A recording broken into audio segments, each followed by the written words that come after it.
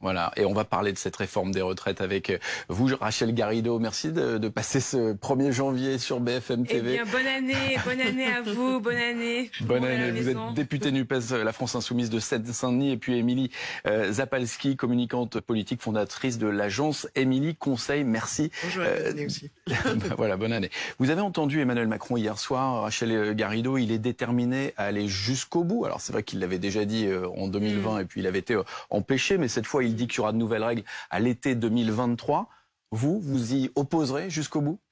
Oui, euh, je trouve que cette euh, obsession, cette obstination à vouloir imposer une réforme qui n'est ni nécessaire pour euh, la sauvegarde du régime lui-même, ni conforme à la réalité de ce que vivent les Français au travail, notamment dans leurs vieux jours, c'est quelque chose qui est profondément agressif par rapport au fonctionnement normal d'une démocratie.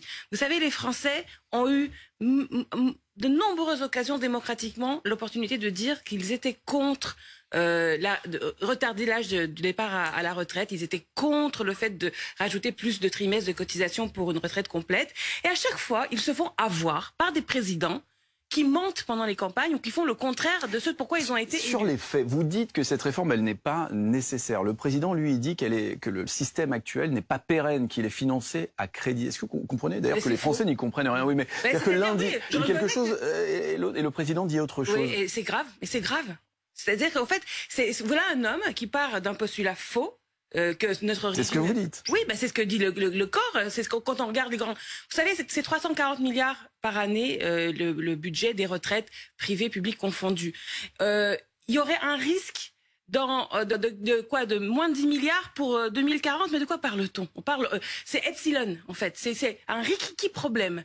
Émilie Zapalski c'est epsilon parce que c'est important ce, ce... c'est que à partir de là le fait de vouloir imposer y compris par l'article 49.3 donc vous savez que c'est un article tellement antidémocratique qu'il faudrait le supprimer de la constitution vouloir passer en force contre 70% des français qui sont contre euh, cette réforme de la retraite à 65 ans c'est quelque chose qui est une agression. C'est comme si quelqu'un rentrait dans votre vie et vous volez six mois ou un an de vie de qualité, eh bien, j'espère que les Français, tous ensemble, ne se laisseront pas faire et qu'Emmanuel Macron reculera. En tout cas, nous, on y travaillera. J'ai l'impression que les chiffres, on leur fait dire un petit peu ce qu'on veut, selon comment on les prend et à combien de temps on se situe. Donc, certains disent ça, ça va pas être à l'équilibre très rapidement. En gros, c'est la, la position du gouvernement et d'Emmanuel Macron. Et d'autres, comme vous, disent il n'y a pas péril en la demeure, on peut attendre encore.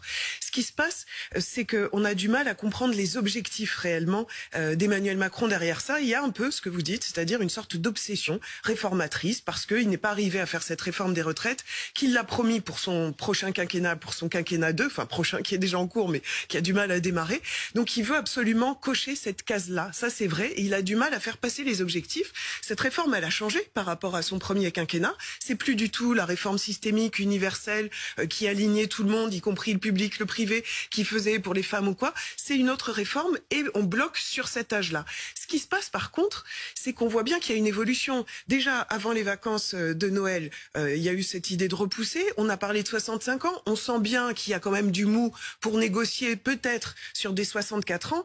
Et on a des Français d'accord, qui sont majoritairement opposés, mais qui sont un peu résignés. Moi, j'ai l'impression que, que, les Français, je suis pas sûr qu'ils aient la capacité euh, de se mobiliser, même avec les syndicats qui ont l'air tous pour la mobilisation. Vous, vous demandez quoi aux Français concrètement au mois de janvier? Jean-Luc Mélenchon dit ça va, ça va chauffer en janvier. Alors c'est vrai que les températures sont élevées, mais qu'est-ce que vous leur demandez? D'aller dans la rue, pas, de la faire La démocratie, c'est pas nous qui demandons des choses aux Français. La démocratie, ce sont les Français qui demandent des choses aux politiques. Et en l'occurrence, ce qui a été dit très clairement Emmanuel Ils ont élu le président de la République qui, avait la réforme des, retraites dans son programme. Alors, jusqu'au bout de cet argument. Emmanuel Macron, sur son programme, il a fait combien au premier tour? Et avec quelle voix il a été élu au second tour? Dites-moi sincèrement, les yeux dans les yeux, il a été élu avec des voix de gens qui voulaient la retraite à 65 ans? Vous savez comme moi que c'est faux. Vous savez parfaitement comme moi que les personnes qui ont fait la victoire au second tour d'Emmanuel Macron, les citoyens français, le souverain, n'était pas pour cette retraite à 60 ans. Alors, mais dans il a été élu. La démocratie, c'est de respecter cela. Dans l'entre-deux tours, il a fait exactement ce qui s'est passé là en fin d'année. Il a modifié un petit peu ses propos en disant ce sera peut-être 65 ans, mais pas forcément, pour essayer de distribuer un petit peu plus largement. Y compris il Garrido, on va essayer de se projeter juste un, peu. En 2012, à chaque fois, les, ces gens-là sont venus devant les Français dire qu'ils ne toucheraient pas à la retraite à 60 ans. Puis après, plof, il y a eu des réformes successives. On a déjà beaucoup parlé de tout ça. Dites-nous à quoi va ressembler ce mois de janvier 2023. C'est ça qui nous intéresse aujourd'hui. On est le 1er janvier.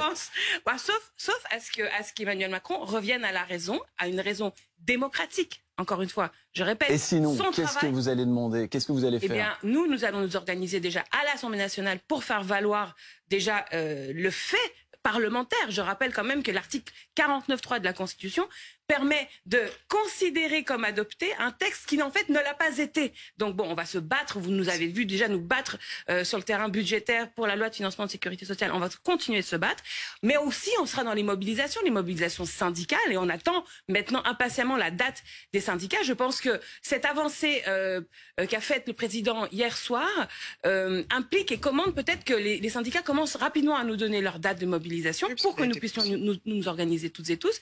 Et puis évidemment, on soutient également une date qui existe déjà, qui est la date du 21 janvier, puisque euh, une coordination d'organisation de jeunesse, euh, c'est pas rien, c'est intéressant de le souligner, convoque cette date du 21 janvier. Nous, nous y serons partout, tous azimuts. Et moi, par exemple, dans ma circonscription, je fais euh, des réunions d'information pour la population autour de cette réforme. J'en ai prévu une dans chaque commune.